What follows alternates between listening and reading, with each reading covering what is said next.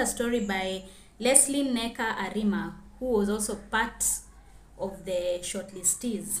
So she has a story, Shells, and this is a woman on holiday after a breakup, and a spirit whispers to her, collect 32 shells from the beach. And so she collects. And when she gets back home, the shells start mysteriously disappearing. And with the disappearance of each shell, so does a disappearance of some of her memory. So it goes with parts of her memory. So I think from this book, I'm kind of appreciating how Lesley Nneka Arimah weaves her stories. So I would say that Shells was also an interesting story for me. Just like in the shortlisted story,